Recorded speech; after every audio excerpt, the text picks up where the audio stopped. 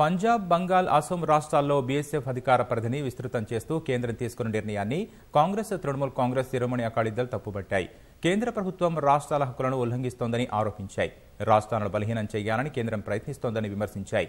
ఈ నిర్ణయాన్ని ఉపసంహరించుకోవాలని డిమాండ్ చేశాయి. అయితే సరిహద్దు వెంట జరిగే నేరాలను సమర్థంగా నిలువరించడానికి కేంద్ర నిర్ణయం దోహదపడుతుందని బీఎస్ఎఫ్ అధికారులు అభిప్రాయపడ్డారు.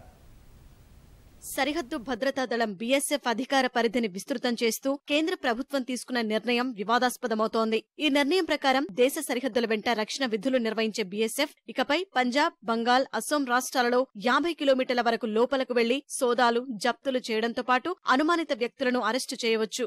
ఈ పరిధి ఇప్పటి వరకు పదిహేను కిలోమీటర్ల వరకే ఉండేది. బీఎస్ఎఫ్ చట్టంలో రెండు వేల పద్నాలుగు జులైలో పొందుపరిచిన నిబంధనలకు కేంద్ర హోంశాఖ ఈ మేరకు సవరణలు చేసింది. పాకిస్తాన్తో సరిహద్దులు కలిగిన గుజరాత్లో బీఎస్ఎఫ్ సిబ్బంది సోదాలు నిర్వహించే ప్రాంత పరిధిని ఎనభై కిలోమీటర్ల నుంచి యాభై కిలోమీటర్లకు కేంద్ర ప్రభుత్వం తగ్గించింది. రాజస్థాన్లో మాత్రం యాభై కిలోమీటర్ల పరిధిని యథాతథంగానే ఉంచింది.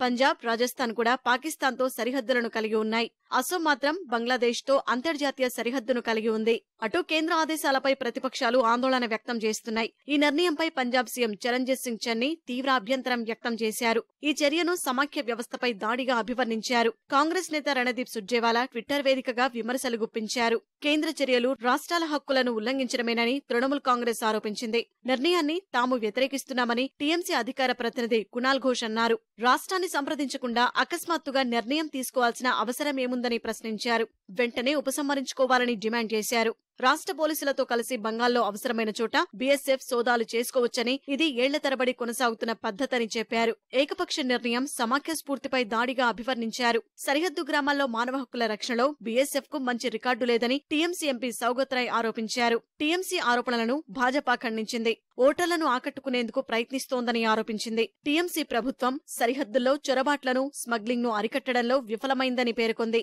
కేంద్ర నిర్ణయానికి వ్యతిరేకంగా పంజాబ్ గవర్నర్ నివాస్ ఎదుట గురువారం శిరోమణి అకాలీదళ్ ఆందోళన చేపట్టింది. ఆ పార్టీ అధ్యక్షుడు సుఖ్బీర్ సింగ్ బాదల్ సహా పలువురు నేతలను పోలీసులు అరెస్టు చేశారు.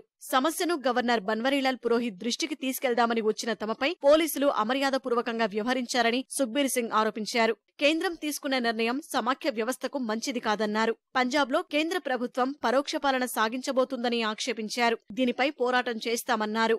బంగ్లాదేశ్ పాకిస్తాన్లతో మన దేశానికున్న సరిహద్దుల వెంట ఆరు వేల మూడు వందల శిబిరాల వద్ద రెండు లక్షల అరవై ఐదు వేల మంది బీఎస్ఎఫ్ జవాన్లు విధులు నిర్వహిస్తున్నారు. తాజా సవరణతో సరిహద్దు వెంట జరిగే నేరాలను మరింత సమర్థంగా నిలువరించడానికి వీలవుతుందని బీఎస్ఎఫ్ అధికారులు అభిప్రాయపడ్డారు. సరిహద్దు రాష్ట్రాలన్నిటిలో ఏకరూప విధానం అమల్లోకి వస్తుందని తెలిపారు.